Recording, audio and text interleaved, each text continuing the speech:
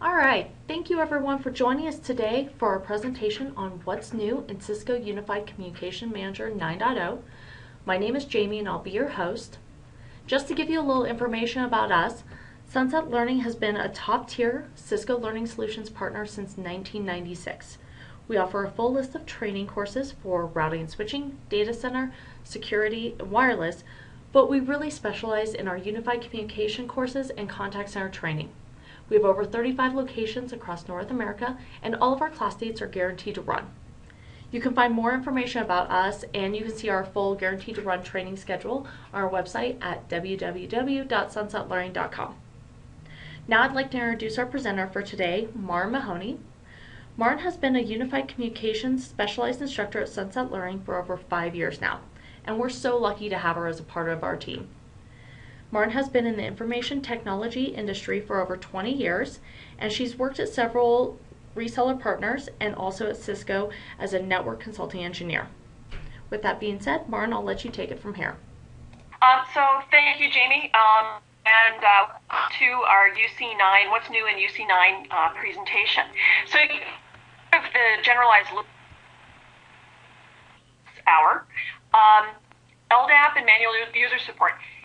Short answer, prior versions of Call Manager required you to either be LDAP integrated or not. Starting with Call Manager 9, you can do both at the same time. I'll show you how to do that.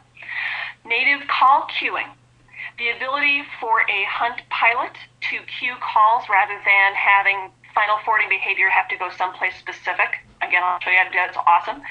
Deterministic codec selection.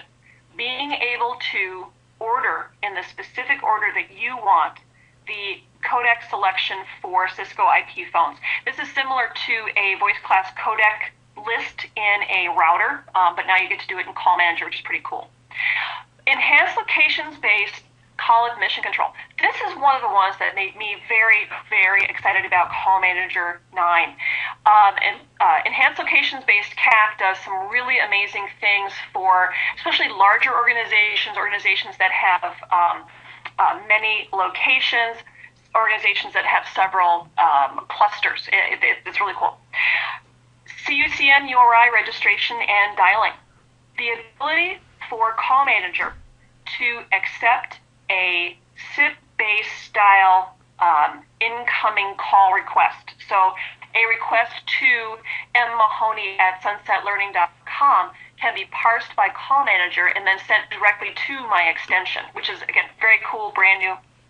Extend and connect, the ability for Call Manager to assist third-party phones in using Call Manager features. And it, that may sound like, yeah, big deal. It actually is, and we'll get there. And then some smaller items, which I think is just kind of interesting. Um, new user pages. Cisco finally, after what almost 15 years, has redesigned their end user web interface and made it much easier for your end users to actually use. Um, and finally, pause and speed dial, which again, small item, but the ability to inject a pause into a speed dial for pager dialing or dialing um, using forced authorization codes or client matter codes. Just some neat stuff. Um, so here we go. Um, uh, as Jamie mentioned, at the end of each section, I'm going to be asking for questions. So if you do have some, type them into chat, and uh, Jamie will ask them as I uh, uh finish each section. So here we go. So LDAP and manual user support. Prior to Call Manager 9, you either had to be LDAP integrated or not. Once you were LDAP integrated, the ability for you to create local user accounts was disabled. Um, and you know the problem with that is if you had like a conference room phone or whatever that you wanted to have listed in your corporate directory, you couldn't do that without giving that conference room phone a AD account, which, you know, there's licensing issues and oh my goodness, what a pain. And for organizations that have contractors who have phones but do not have AD accounts. The ability, again, for them, you know, to, to be um, seen in the corporate directory or whatever, it, it was just a real problem. So um, now we get to do that. So let me show you how that's done. First of all, as far as LDAP integration itself is concerned, that hasn't changed. You still go through the same LDAP integration um, uh, method that you did before. But now, and I am LDAP integrated, I can go to my end user list And I have all of these LDAP integrated accounts and all that, but check it out. I also have a local user account. Um, a conference room phone just, uh, you know, as my example. And if I open up that account, um, you can see that it says again here active local user and I have my add new buttons which again sort of implies I can create local user accounts whereas I still have all these other guys that are LDAP integrated. Now the nice part is that conference room phone can now be found on um, Cisco IP phones. So let me access the corporate directory here and I'm going to do a search and if you look you'll see that I have a conference room phone. Oh, where'd it go? Did I pass it by? Mm, oh, there it is. There it is. So there you go. Um, now, it, it, it's one of those things that's very easy to demonstrate because, you know, it's sort of binary. You either can do it or you can't do it. But the fact that you can is very, very exciting. Um, just as a reminder, so LDAP integration works just the same, but now you also get to get end user accounts. Now, that said, like with other LDAP integrated accounts, if I create a local account in Call Manager, and on the next LDAP pass, uh, call manager detects an incoming account that has the same username. That account will get um, that will get um, uh, synchronized. And so do be careful of that if you're creating local accounts. Make sure they don't match user IDs that are in your LDAP system. Um, and last, uh, lastly, something I did not mention before, if I go into a local or an LDAP synchronized synchronized account, I can also convert that to a local account as well. An LDAP synchronized account that gets converted to local will not get resynchronized on the next LDAP pass. So that is um, LDAP synchronization with local account support as well. Very cool. Um, and so, Jamie, uh, any questions about LDAP? Yeah, we had a couple come in. Um, the first is, is LDAP still only one AD source? And can you sync from multiple AD clusters? Um, not AD clusters. So the way LDAP integration works is, first of all, of course, you can only sync to one type of um, LDAP server. So I'm still having to pick, you know, Active Directory or Open LDAP or whatever. So only one kind. Number two, the AD servers that you synchronize with need to be in the same Active Directory forest. So if I have, you know, parent domains and child domains, that's all fine and dandy. Um, although, again, with LDAP, you still have to be um, having, uh, you still have to have at least one synchronization agreement per domain because wherever you point your LDAP uh, directory, your, your synchronization agreement, you get everything from there down to the edge of the domain, but not a child domain. So if you have, you know, sunsetlearning.com and then you have a subdomain of, um, you know, europe.sunsetlearning.com or something like that, that would, you'd have to have two synchronization agreements. But if you, that, that would be one tree in your Active Directory forest. If you have a second tree in your Active Directory forest, you can still sync um, and you can still have um, uh, you know synchronization agreements in that other tree. If you have more than one forest that requires separate uh, uh, call manager um, systems, you, you, you, can't cross outside, and, and, that's partly for authentication. With authentication, you're going to be going to a global catalog server, which sort of implies that you're all part of the same forest. So hopefully that answers the question. I, Jamie, let me know if there's a follow up. Okay. Um, any other questions? Yeah, there was two more that came in. Okay, with the new LDAP feature, is there any way to update the IP phone field in AD via the CUCM? Oh, wouldn't that be nice? No, it is still a read by call manager of AD information. It's a one way um, synchronization. Uh, any changes made in um, uh, call manager itself do not get passed along. Wrong spot. In fact, if I go into my end user accounts, you'll see that still my AD uh, sync accounts, the information like telephone number is non-editable. That is because it has to be populated in Call Manager and then synchronized to, I'm sorry, um, has to be entered into AD and then synchronized to Call Manager. So sorry, no, wish there were. Hopefully future versions. Perfect. And what was the other one, Jamie? All right, the last one for this section is, can you pull information via SNMP to populate the LDAP?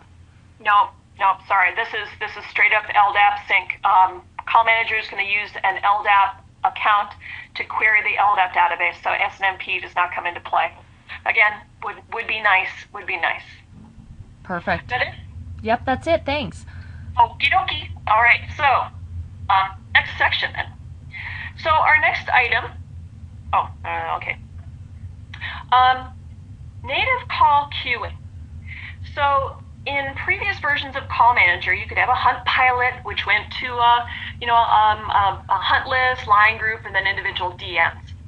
If there were no um, if there were no agents available, if there were no uh, line group members available for that call, then the final forwarding behavior kicked in and it rolled to voicemail or to an operator or whatever. Starting with Call Manager 9, Call Manager itself natively can queue calls. So if I have, you know, five people in my uh, line group and on all five of them are on the phone or all, you know, three of them are on the phone, the other two are not available or whatever. Call Manager itself, as long as there is at least one line member potentially available, will um, uh, queue the call. They will get hold music. They'll get an introductory announcement. Um, you know, thank you for calling. Your call is important to us. That sort of thing. And then um, re um, uh, uh, re-announcements every X number of seconds, 30 by default. Those uh, welcome announcements and the you know periodic re-announcements are all totally customizable. You can have different ones for different um, you know different announcements for different queues. Um, it, it just works really really well. A single call manager uh, line group member can be in more than one line group. That line group can be part of more than one hunt list. So you can be a part of multiple queues. And how Call Manager handles queued calls is that it will take the longest queued call and send it to the next available agent. It really is answered in the order it was received. If uh, a line group member is in more than one line or that line group's in more than one queue, so, you know, potentially hunted to for several things, then um, what call manager will do is figure out in any queue who has been holding the longest that can be sent to that uh, line group member, and it will forward that call. So it's actually pretty smart. Um, in addition, um, line group members, I don't have this set up on, on uh, our demo, although I probably should for future versions, but the line group member themselves they can uh, push one of their line appearance buttons. A, it takes real estate on the phone, but they can see what queues they're part of, how many users or how many callers are in each queue, and how long people have been um, uh, in queue waiting for someone to answer. So you can sort of monitor it right from the phone, which is just awesome. I just think it's really, really cool. All right, so um, let, let's take a look. To set it up, it's really, really easy. I'm going to go into Call Manager. And first of all, I do have a Hunt Pilot here. And the pilot is 2222. Now, the final forwarding behavior that is standard in Call Manager 85, 86, and earlier um, is still there. And I can see that right here. I've got my, you know, forward hunt no answer and forward hunt busy behaviors. I still have my maximum hunt timer. So, you know, if you are upgrading into 9, those um, those fields uh, uh, port over to the new system. Um, and if you just prefer the old style, this is the way you do it. But if you would like to do queuing of calls, continue to scroll down. And I have a little checkbox here. Yes, please queue calls. Now, notice that as soon as I do that, this stuff out here becomes unselectable. You get sort of either or. You can either do final forwarding behavior, traditional, or you can queue calls. So queuing calls is this simple. It is so simple. Um, which music on hold audio source will be used to queue these calls? Now I only have the sample audio source loaded, but you can, you know, upload your own music on hold music. So there you go. Then maximum number of callers allowed in queue. How many calls do you want to queue? Um, this uses um, essentially CTI ports in the background. You don't actually have to create any CTI ports, um, but just from an overall capacity on your call manager, if you have lots and lots of queues, you want to maybe you know minimize the number of people in queue. But yeah, that's just a design issue. Now here you go. When the queue is full, the default is to um, disconnect the call. But what I can do instead is say, well, gee, then maybe I want to send it to an operator in a particular partition. But that's only if the queue is full. Also, if the maximum wait time, so here is your um, maximum hunt timer when a call is queued. How long can somebody sit in queue? That 900 seconds, which is the default, is 15 minutes, which I think is really, really long. Um, but again, totally configurable by you. If I do you know, hit the maximum wait timer again, what do I want to do? Drop the call as a default. Instead, maybe again, I'm going to send it to an operator. When no hunt members are logged in or registered, so I have my five members of my line group, all of them are not available. Their phones are unregistered. They are not logged into hunting. Um, then what do you want to do? So again, I'm going to say, you know, send it to this destination. But we are going to queue a call. So here, here you go. That, that's really all there is to it. Let me go ahead and click save here. Now, the last thing we need to look at, for my uh, audio source for Music on Hold, as I mentioned, you can set up custom um, announcements. Let's go to that Music on Hold audio source, and it's number one here. Here is where I set up the announcement settings. An initial announcement. Um, the uh, welcome greeting, this is just a sample one that Cisco has put in, but um, you can upload files right here, right? Upload file, and that allows you to upload your own announcements. Initial announcement plate anytime somebody is on hold or only if they are being queued. Which periodic re-announcement do you want them to hear? I'm going to again just do sort of wait and queue sample. That's the sample one that Cisco puts up. How frequently do you want to have that periodic re-announcement set? And then a locale announcement. Now the locale announcement is important for the following reason. If you have more than one language enabled on your call manager cluster, these initial announcements, periodic announcements, are um, part of the language pack that you install. You know, just like the, all the annunciator announcements and whatnot. So if I am an English speaking person using the English speaking GUI, but I'm setting up a queue for, let's say, a German speaking hunt, I can specify that for this German speaking hunt that they have the German language. Now I only have the English in here, but, but that's how that works. And again, that's all the harder it is. Very, very simple. Let me go ahead and save this too. And let's try a call. Now, I have two users here. I have uh, Joe Doe and I have uh, Jane White. And what I'm going to do, cancel exit, um, they are both currently logged into hunting. Um, I do have a busy trigger of two for both of them, so what I'm going to do is set up two calls between them, and then uh, call in using a third phone and hear the, hear the call. So here we go. Let me call Joe here at 2001 and answer, and then I'm going to mute immediately. All right. Now, let me create a new call. I'll put this on hold. Create a new call and call Joe again.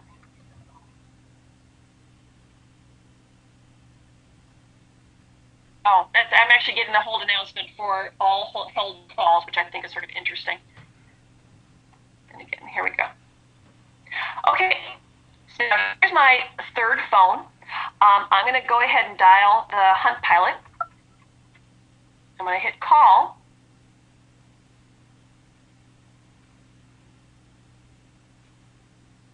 Okay, there you go.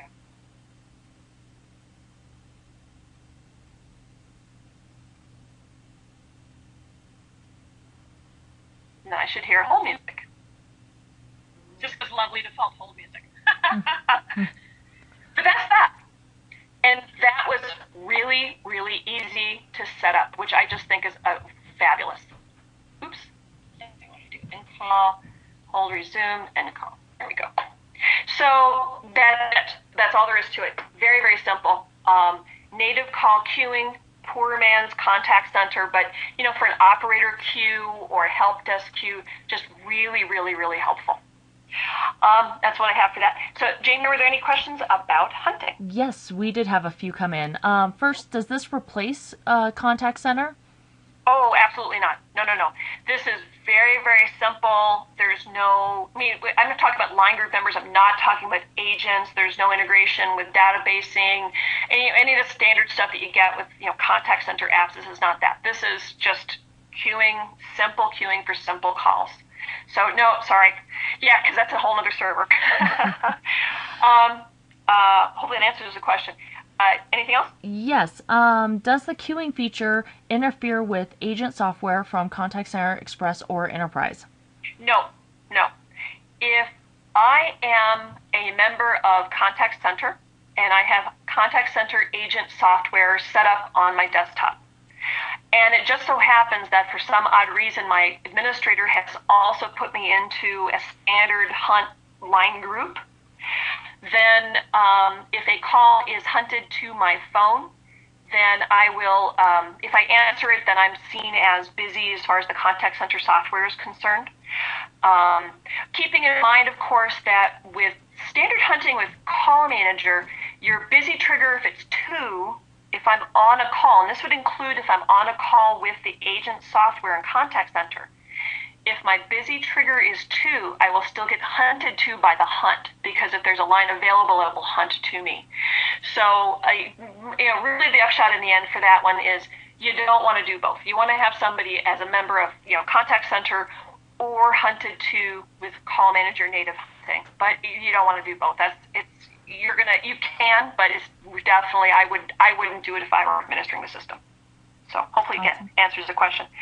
Um, yeah, we have uh, any other questions? Yep, yep, yep. Oh. Um, does this have any reporting capabilities? Oh, absolutely. All this stuff generates call detail records. Um, and if you have, uh, like even in your trace files, if you have set up, you know, please trace route lists and hunt lists, it will show you the hunting path. I check this, check this, check this, queued the call.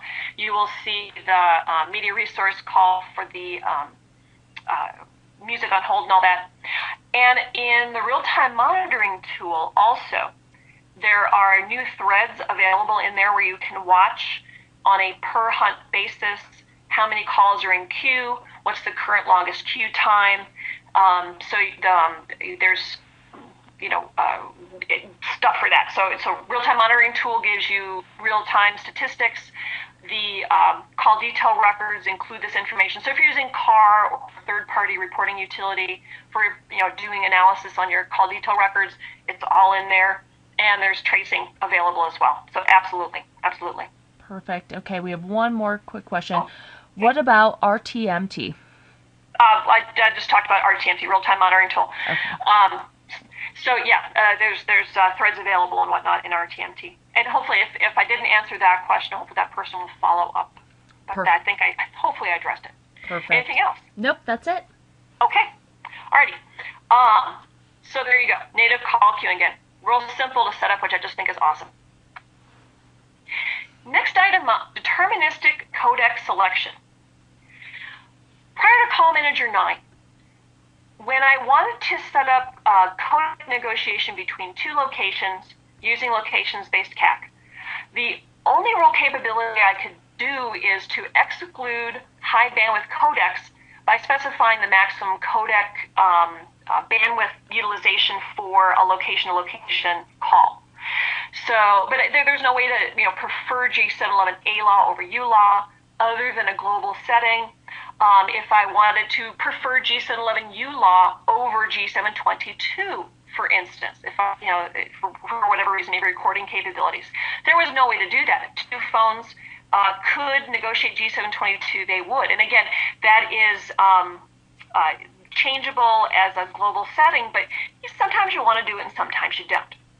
So, starting with Call Manager 9, as far as the default codec preference lists, it's exactly the same as earlier versions, but it does allow you, the administrator, to create custom codec selection lists with the codecs in the order that you want and apply those on a per location to location basis.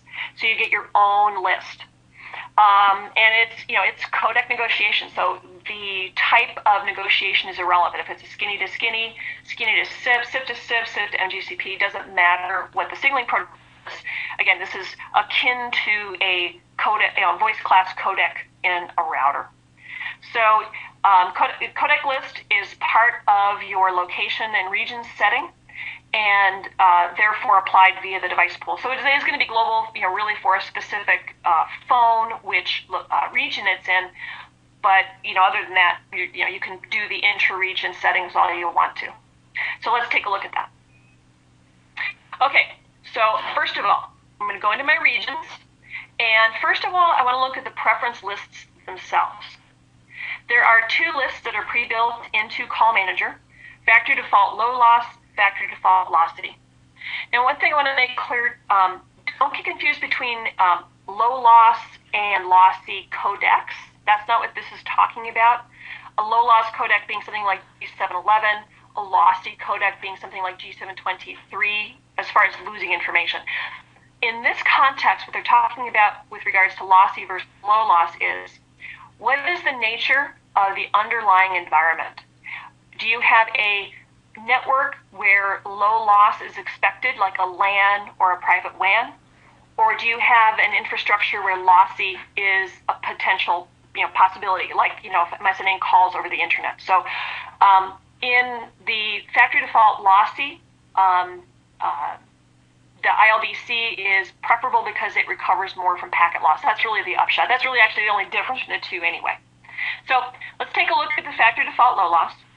One of the things I thought that was cool about Call Manager 9 is there was no place where you could actually see this list. I mean, this is the same list they've been using forever and a day. We just didn't know what it was. So this is why you can see G722 is preferred over my G711s. ULAW is preferred before ALAW. Oh, you know what? And I lied. It's not ILBC. It's um, ISAC. That's preferred. That's higher up on the list if you've got the, the lossy. So there you go. This is the list. You know, you can see your G729s below your G711s. Selected if you have uh, an inter-region setting where you're limiting amount of bandwidth. So let's create a new one. I'm going to copy this one that we have here to factory default low loss. And I'm going to give it a new name. I'm going to call it Marens factory default low loss. Save. Oh, sorry. Of course, no punctuation allowed. Now I get to specify what I want. And let's suppose, so I have ULAW here, I've got ALAW there. Um, I would like to prefer a law over ULAW. You know, I'm, I'm in, you know, Great Britain or whatever, or I have a specific location that's across the pond, and I'd like to make sure that I prefer a law over u law. If I set up a call between my two systems right now, answer mute, and if I do my little question mark, I can see that I've got G711U law. So let's end the call and go back in here, and I'm going to prefer A law over ULAW, just because this is a simple example. You obviously get to choose you know, your list in the order you would like to have it. So um, I'm going to go into my uh, regions. I have a headquarters region and a branch region. Uh, Joe is in headquarters and Jane is in branch. Let me open up headquarters here. And I'm going to specify that between headquarters and branch, currently factory default low loss. Instead, I'm going to say between headquarters and branch, I'd like to use the Maren factory low loss. I get the ability, even though I have my custom codec selection list, of limiting, you know, again, which codecs are used. If I limited it to G7, you know, 8K, I'd still get G729, even though I had reordered the G7, the 64K ones, the G711s, because it, that would be too much bandwidth for this setting. But I'm going to leave it at 64K. Let me go ahead and save here. And I need to reset my two regions. Restart. I'll reset my two phones. or not. Okay. Uh, let me read out. Again, let me it real quick. And I can see that I'm now using G711A law. And again, really simple to implement. Your biggest challenge is going to be deciding, you know, which codecs you want to prefer. But, you know, you know, if you have a recording server, anything going to the recording server, you know, you can make ULAW as G711 ULAW as opposed to G722 or if you have a third party voicemail server that only allows G711, you can specify that. Or G, you know, anything going to this site, even though it's a land this region, I want to make G729, you get to pick, which I just think is totally awesome. So, very nice little feature there. Let me end the call. So that's uh, uh, deterministic codec selection. And Jamie, any questions? Um, no, I think we're all good. Not with that one? Okay. Nope. Moving right along. The next one we have enhanced locations based CAC. Again, I find this very, very exciting. This to me is really, really cool. So prior to Call Manager 9, I could specify location A, I could specify location B, and I could say how much bandwidth is available into and out of A and into and out of B. The problem came if I had leaf sites. So let's suppose I have a headquarters in Chicago and I have a branch in Miami. Okay, fine. But outside of Chicago, I have a smaller sales site. Their link to the corporate intern- intranet is via Chicago.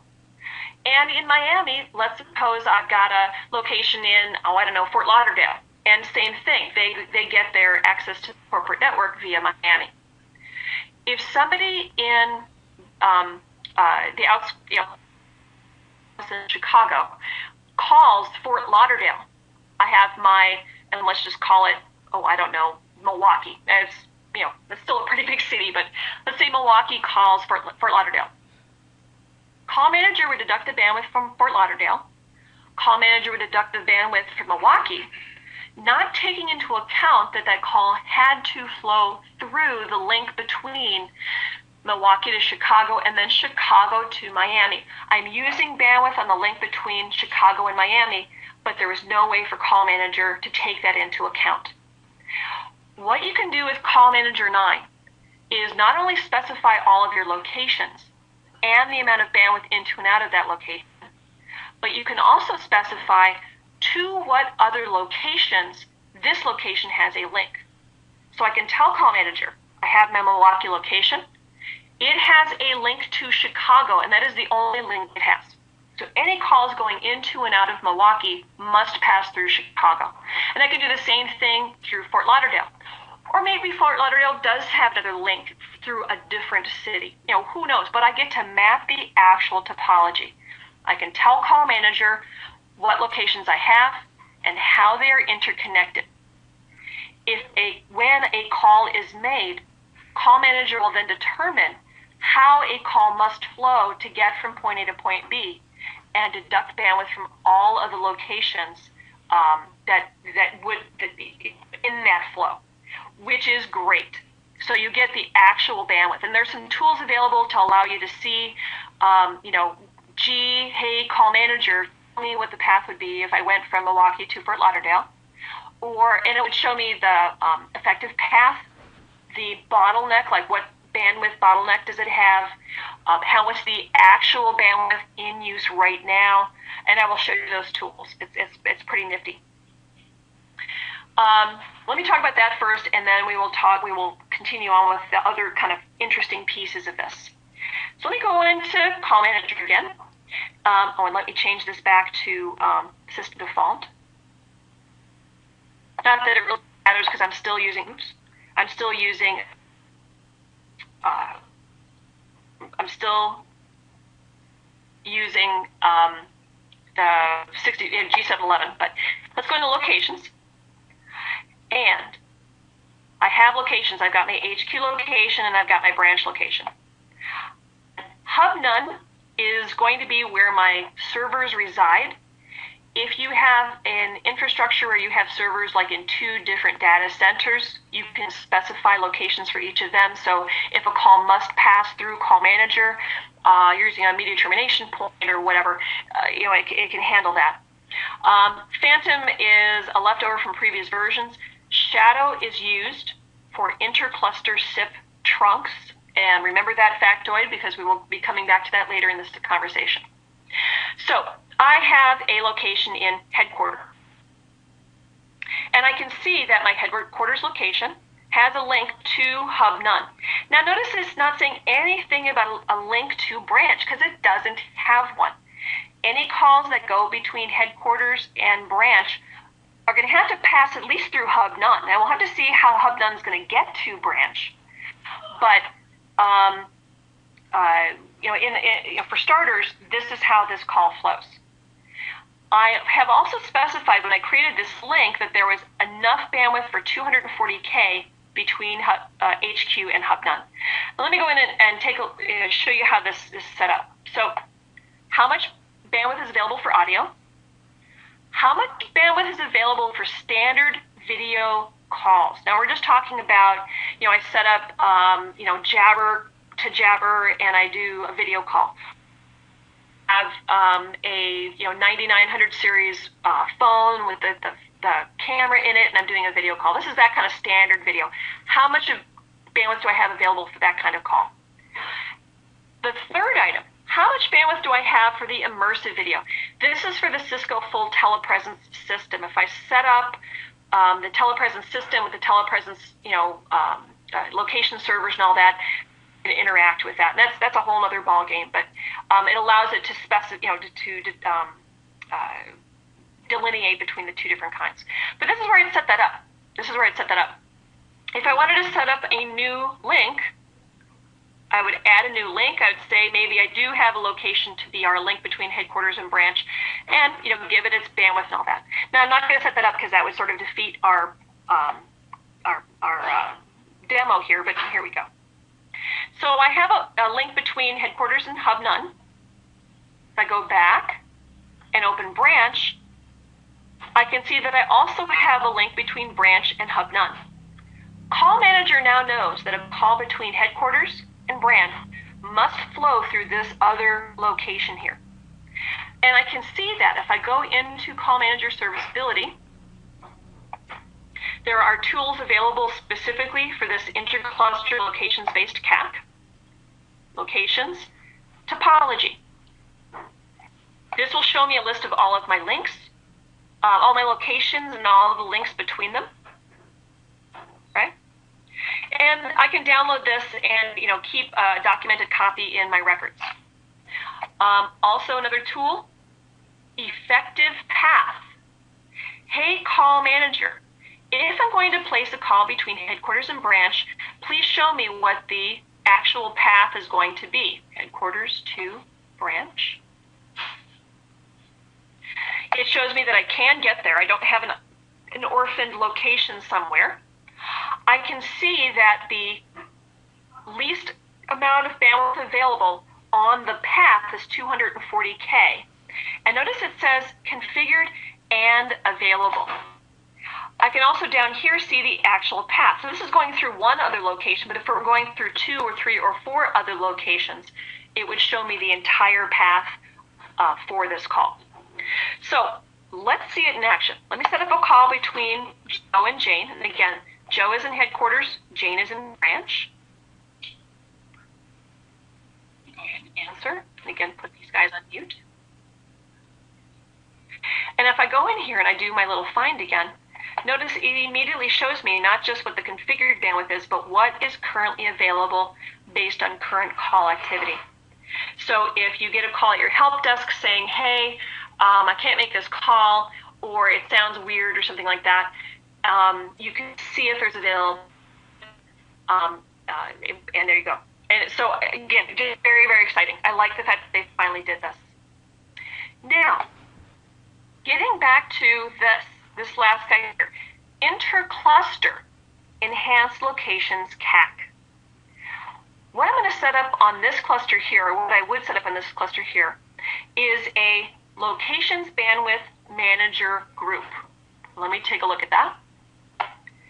Um, this allows me to tell this call manager which one of my servers in my cluster is going to be managing bandwidth for this cluster.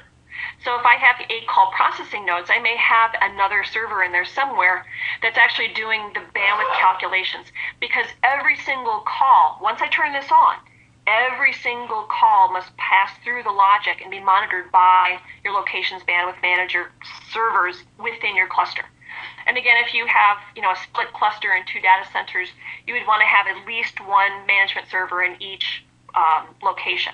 But they can be part of the same group and be sharing information, but failovers for each other as well. So I do that in this cluster, managing bandwidth in this cluster. I do the exact same thing in another cluster. And then using locations bandwidth manager hub groups, I can tell the two clusters about each other. As long as I have a SIP based intercluster trunk between the two clusters, both in that shadow location. Remember, I said we talked about that shadow location. And I can specify for the shadow how much bandwidth is available through the shadow. So how much bandwidth is available between the clusters. If I have a US cluster and a Europe cluster, for instance, and I have a single massive trunk between the US wherever I terminate in Europe, maybe England or something like that, I can say how much bandwidth is available over that trunk. And then the two clusters can share locations information. If I make a call from Chicago it has to pass over my internal network, through the trunk that goes between the two clusters, over to my London location, the other end of the trunk, and then might be maybe going to Berlin. And I can do end-to-end intercluster locations-based call admission control because I get the two clusters to talk to each other, which is totally awesome. I think that's great. If you have more than one cluster, this is really, really neat. I know of one organization they have the biggest deployment I have ever seen. Big insurance company. They have, and I kid you not, 36 clusters, 400,000 handsets. And the way they um, determine to which cluster a specific phone is going to go, it's based on the phone number. So it is possible for me to be sitting down the hall from you, you call me to go to lunch, for instance, but your phone and my phone are on different clusters. It is entirely possible. Now, if I'm doing intercluster locations based CAC, that's great. You know, call manager can uh, manage the bandwidth between the you know the two phones for the call, but really, really, that's a land call, isn't it? That's a local call. That doesn't go over any WAN links. It's not going out. It's going inside my LAN. So one of the things that I can do with this system is if I set up a location here in this lo- this cluster called capital H, capital Q, and I set up that same location name exactly in your cluster, and I turn on intercluster locations based CAC, call manager. Um, when it, my call manager talks to the call manager of the other cluster, they'll say, "Ooh, you have an HQ location. I have an HQ location. That must be the same location." And so the two clusters will determine that since they are in the same location, that it is the same location and it is a land call and will not take up bandwidth at either location because it's the same location. Again, I'm just, you know, smart people at Cisco doing this. If you have things like device mobility enabled, what location you're in is part of the information that gets changed on a device when it moves from one loca- one uh, device mobility location to another one. So device mobility, and so you know if you take your phone, which is in a different cluster, and you actually go to another location somewhere, and you're using device mobility, your phone will learn that it's in a different location, and call manager will you know appropriately manage the bandwidth. So very very cool stuff. I'm just very very excited about this. Um, and that's locations based CAC. Any other details I haven't talked about yet? Let's see. Oh, no, that's the next item. So locations-based CAC, intercluster enhanced locations CAC. Features and services guide will help you figure out how to set this up. It's not hard. It's not that much harder than standard locations CAC. Jamie, questions? Yes, yes we did have a few. Um, oh. How how does it determine between video versus telepresence devices? It has to do with um, if you have the full-on telepresence systems, there are uh, registration systems inside your organization for uh, telepresence calls. Um, it's managed by a separate telepresence um, um, um, application which manages the calls and all that. So I, that's essentially how it does that. If, if my call manager cluster knows it's talking to one of these telepresence systems, it will, um, it, you know, it, it, it will deduct from that bandwidth, which is substantial. If you know anything about those telepresence rooms, they take up a boatload of bandwidth. So that's why they have it separate from standard video calls. Now that said, you can still have a standard video call at 384 joining one of these telepresence systems. So if you do want to limit the bandwidth, you can do that so it's not taking up a boatload of bandwidth on your backbone. Um, hopefully that answers the question. Uh, anything else? Yeah, one more. Um, is RTMT updated showing the real-time bandwidth? Yes. Yes, the um, intercluster locations CAC, in addition to the tools and the serviceability menu, again, added threads telling you information about current bandwidth consumption on individual links um, and into and out of individual locations. So yes, there are threads for that. Yep. Awesome. That covers it. Good. Yep. Okay. Alrighty. The last few items are relatively short. Um, that I, you know, I want to do the biggies first in case people had to go, you know, other places. Not that you wouldn't want to stay till the end, of course. Um, next item: URI registration and dialing. URI, Uniform Resource Identifier. The eventual these systems, everything's going to be running SIP, I think, at least anyway, eventually. And SIP is based in, um, you know, developed by the IETF, based in World Wide Web sorts of things. So it uses DNS and email type naming conventions, at least eventually. Right now, the way SIP mostly works is it'll be like, oh, you know, 2001 at you know 10.4.1.1 and you know that 10.4.1.1 server would know where 2001 is and I'd be making a phone call. But eventually what we would like to do with SIP is to be able to say, hey, I'd like to, you know, uh, send a phone call to John Doe at Cisco.com. And John Doe at Cisco.com would be resolved in a DNS server as, oh, you know, this would be a, a special record for a phone call.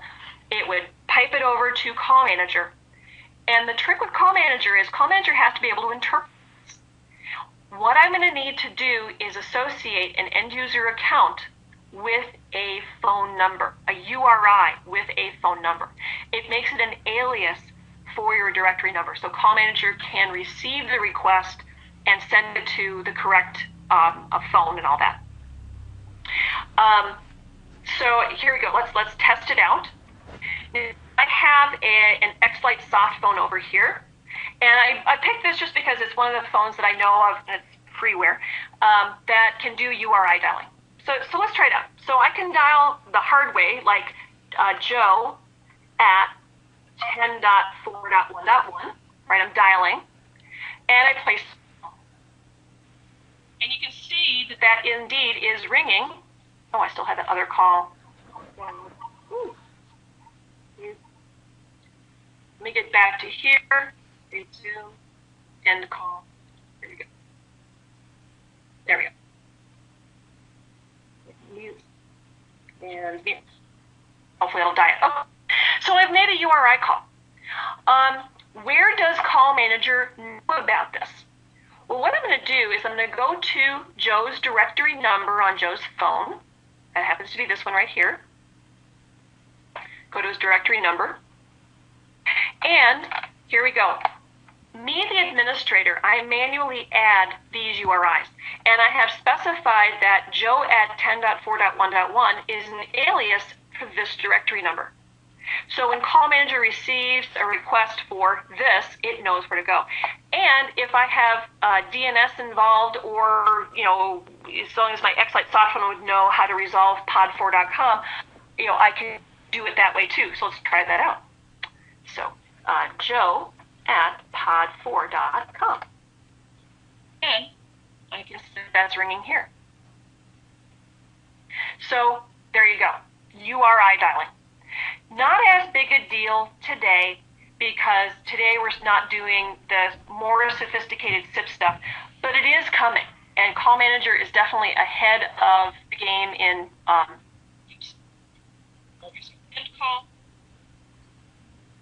resume, end call. Thank you.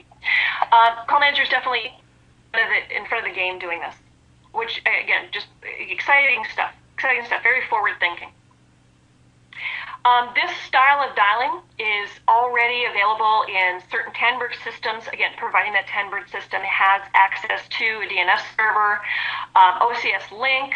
Um, if I'm doing a, you know, a dynamic DNS and I register my soft client with my username to DDNS and I have these systems, I can dial and it will find me. What's the best way to get a hold of me? Is it my Lync client? Is it my desk phone? What? So cool stuff cool stuff coming. Um, that's what I have for that. Jamie, questions about URI dialing? Nope, we're all good. Next item, and again, oh, oh yeah, actually, this is actually very exciting. Cisco's biggest competitor right now is Microsoft. That's the company that has Cisco running a little scared. And the reason is that Microsoft is making substantial headway into voice over IP arenas, their Lync client because people know Microsoft and it's Microsoft integrated want to do the Lync client instead of the um, uh, the Cisco clients, at least especially the CUPSI client because that was a little clumsy. So Cisco has come out, of course, with Jabber. Now, starting with Call Manager 9, they are giving away presence seats. If you have a phone um, and a user account and you're licensed for that, you get presence, period, end of story. You don't have to really have anything else. There's no capabilities assignments anymore. You, you know, again, if you you have an account, you're good to go.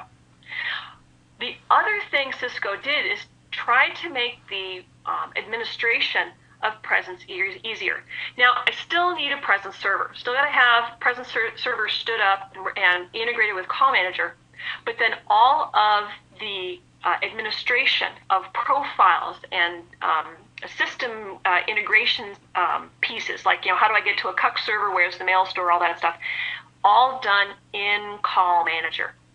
So simplified licensing, common client across multiple platforms, so people have a consistent user experience. Jabber is, you know, they got Jabber for Mac, Jabber for um, Windows, various Windows platforms, um, your your your iPhone, your Android. So you know, common user experience with a common client um, all back ending into call manager and you know presence for everyone, Jabber for everyone. That's what they're talking about it. So let's take a look at that real quick. I, it, this is mostly other than the theory of it. It's a matter of you know are you doing it or not. But under user management, I can go into user settings. I'm sorry, user settings, right? And UC services. This is where I go in and determine uh, what services are available via um, presence. So service profiles, this allows me to set up various profiles, right? POD4 profile. This is for unified messaging specifically, but it allows me to say, you know, where's my uh, voicemail server, et cetera, et cetera. Where's my mail store? Uh, if I have a, a WebEx or a meeting place, where's that? So if you have done um, uh, administration of presence in prior versions, this will all make sense. You know, you, you know you, you had to set up all of these things. Um, directory profile for LDAP, et cetera, et cetera. And then, under user management, UC services. This is where I get to set up the individual services. So where is my CTI server? Where is my voicemail server? So you set up the services, you put the services together into a profile, and then when I create end user accounts, one of the things I'm going to tell them, let me go get Joe here, is which profile they have access to, pod for pod for profile. So when you're creating a user account, you specify the profile, and poof, they have everything they need to be presence integrated. So you throw up their Jabber client, and they are done. And we have uh, Jabber clients here on these systems. And, it, you know, again, fully integrated. Let me make a call between my Xlite soft phone and Jane. Right. Answer and unmute. And I can see that Jane is on a call. But like before, you know, I can send Jane an IM. Um, Heidi Ho neighbor.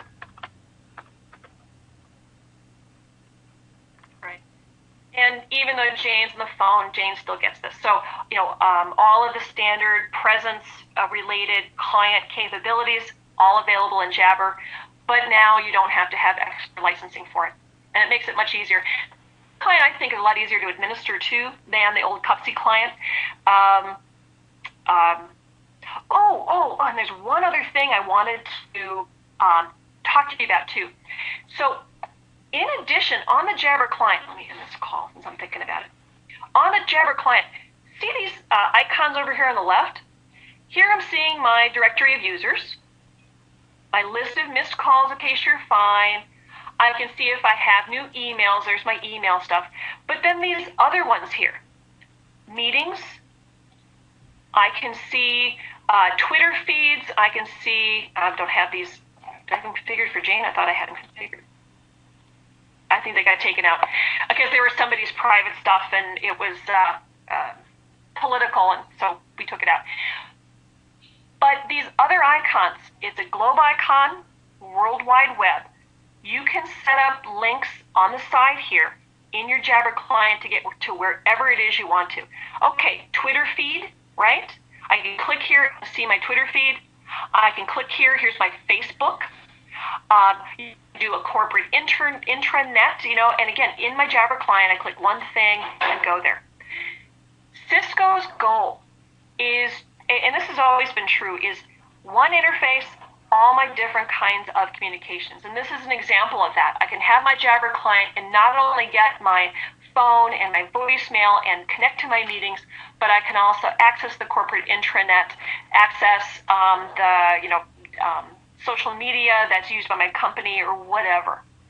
Um, the biggest problem with that in Jabber is setting up those links um, is not an easy thing to do. You sort of have to be an LDAP uh, or an XML programmer to get that all set up properly. There are some utilities available to aid you with that, um, but it's, it's, it's trickier than it actually sounds. Um, but anyways, but Jabber. So Cisco has highly enhanced Jabber, again, as a direct reaction to Microsoft Lync, because Microsoft Lync is becoming so popular.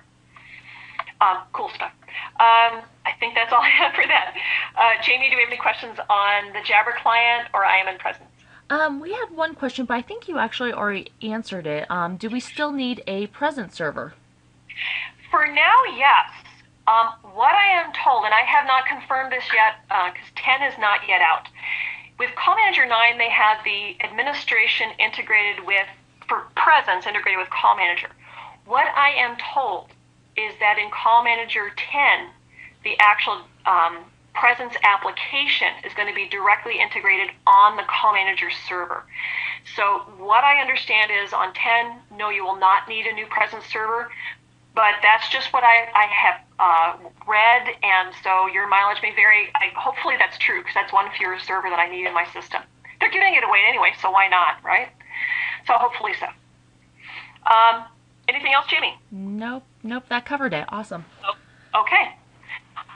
Last two quick items. Um, right, okay, UC services. Um, three items. Cisco Extend and Connect. Now, I'm unable today to demonstrate this, but let me talk about it. Here's the deal. You have integrated Call Manager with a third-party PBX. Maybe you're in the process of migrating.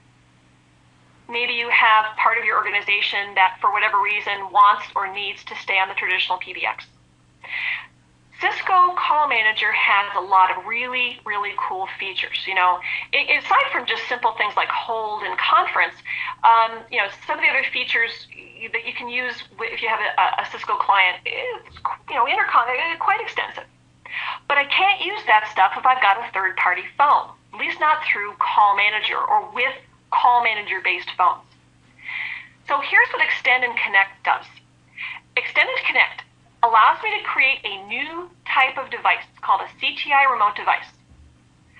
That CTI remote device is a phone. I'll go, you know, device phone, add new, what kind, CTI remote device.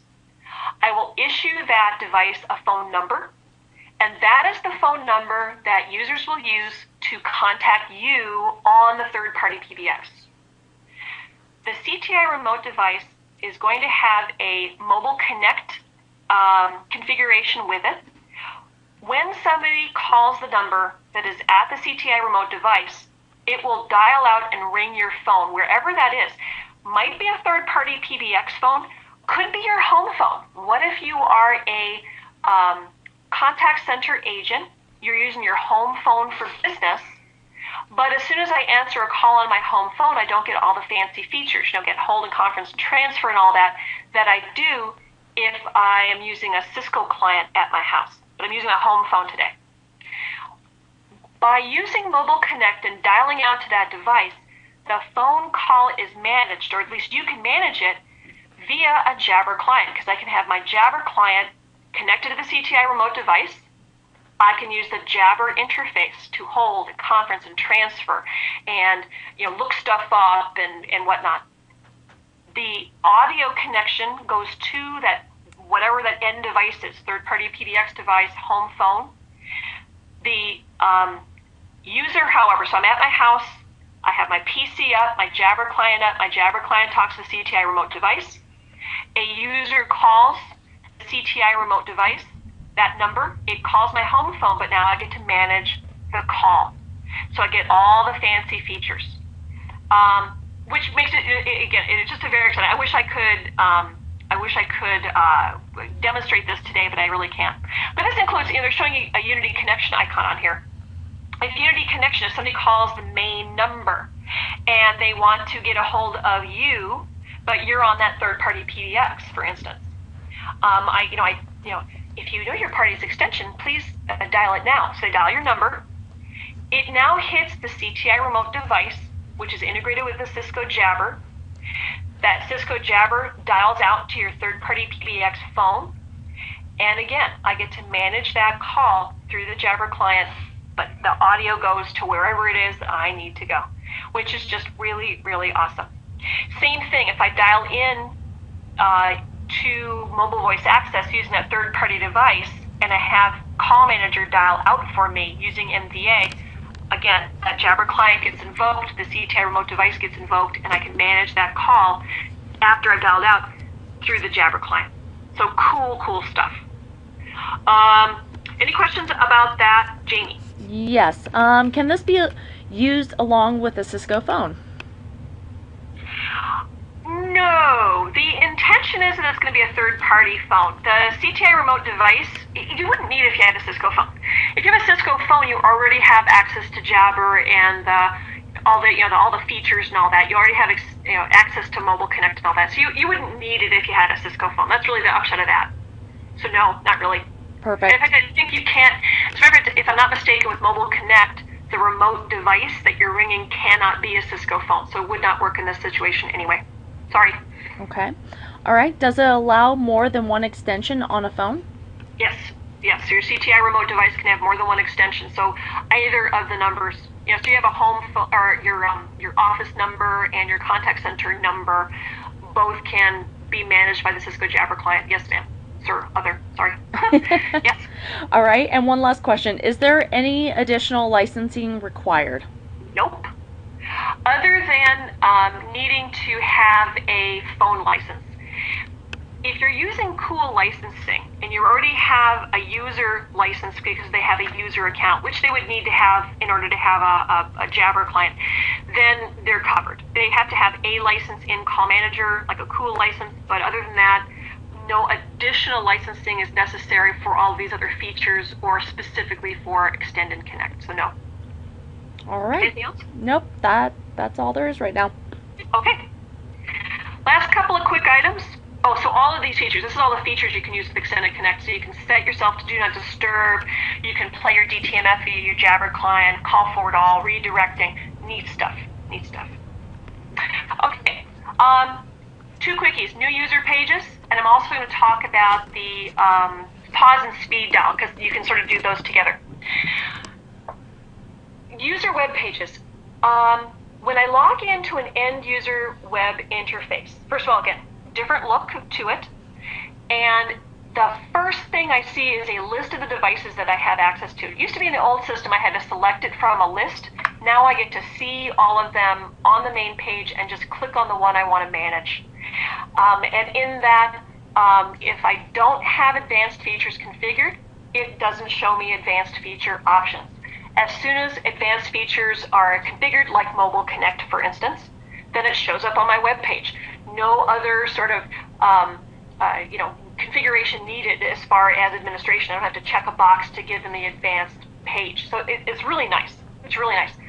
uh, to one of these. I'm going to go ahead and extend this. Let me log in.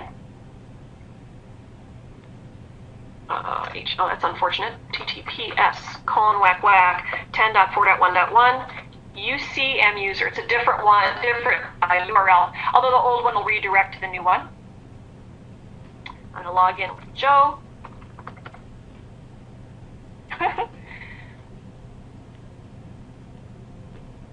and here we go. Over on the left, I get to see all of the devices that I have access to. And for this one, you know, what sorts of features do I want to do? For this one, which sorts of features do I want to do? So this is my Jabber client, this is my CUPC client, or my um, IP communicator client. And you know, it, it, makes it really easy for users to use. It, the old one was kind of clumsy. If you didn't already know where to go, it was hard to navigate to places.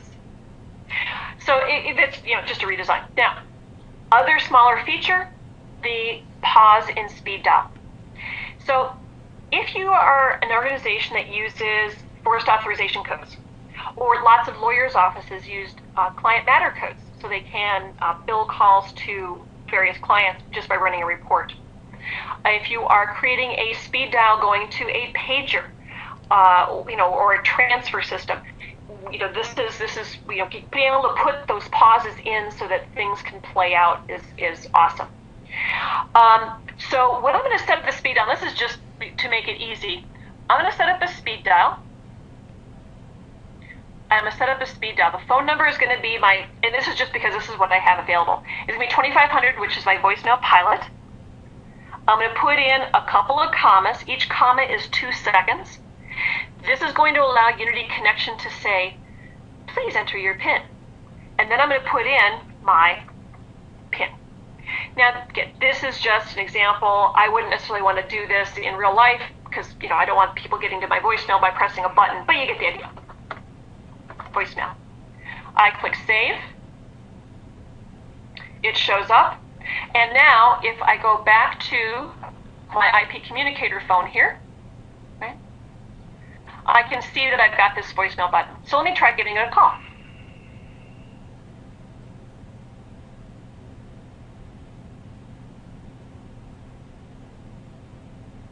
Oh, I didn't put pound.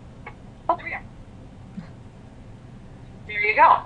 So it allowed me to log in, in this case, because that's what I asked it to do, but being able to put those pauses in speed dials so that you can add additional digits as necessary. Just a nice little handy feature. I, I think that, you know, those couple of things are just, it's just nice. Um, when you're doing pause and speed dial, how many milliseconds do you want between dead digit presses? This is a new service parameter for the call manager service. And this becomes important if you have especially old, like older pager systems that you're trying to access. If you dial too fast, it doesn't understand. So you, that is a configurable item. Um, I think that's all I have for that. Uh, and that is actually brings us to the end of our presentation. I uh, hope you enjoyed that. Um, please feel free to email us if you have questions or anything else that, uh, you know, if we can uh, help you find information. Um, but again, features and services guide, that is sort of your first stop shopping for all of this stuff. It's all explained how to do in there. Um, and before we go, Jamie, do we have any additional final questions? Yeah, we had a few come up. Um, is the Jabber client included in 9.0? The, you, know, you still have to download the, and install the client, but as far as licensing is concerned, yes, it is. Jabber for everyone is what Cisco calls it. So yes. Okay, very cool. Um, what are the differences between 9.0 and 9.1, 9.2? Um, so I have, again, this is sort of one of those things I've just sort of heard. I, I have not experienced it, but I've run across this on the Cisco support forums and all that.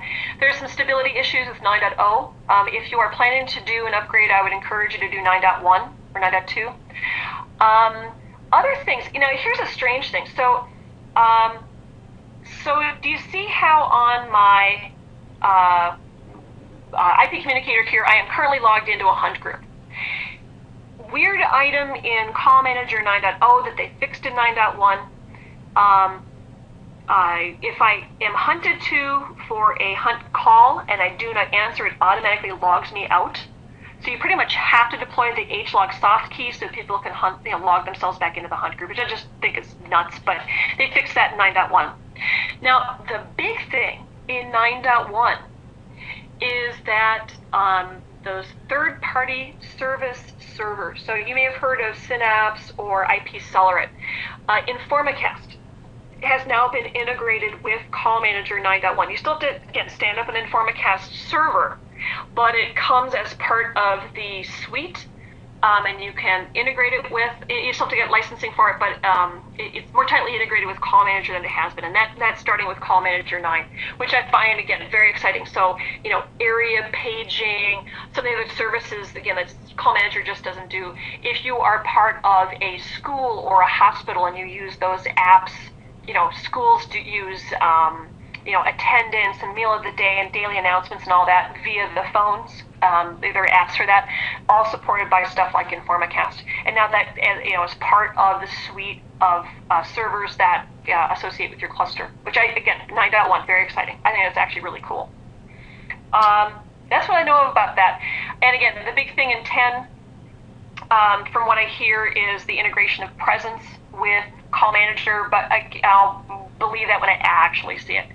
Uh, Cisco has a seminar in July for rolling, you know, rolling out the, you know, what's coming next in 10. Um, I don't know if anybody has an opportunity to go to that, but it should be very exciting. Uh, anything else, Jamie? No, I um, oh. I think you answered all the questions. I think we're good to go. So. Cool yeah, thank you so much, Maren, for taking the time to do this, and thank you everyone for joining us. Um, we will be sending out the recorded version, but if you have any additional questions, feel free to reach out to marketing at sunsetlearning.com, and we'll get you taken care of. Thanks for coming. I hope you enjoyed the presentation. Thank you.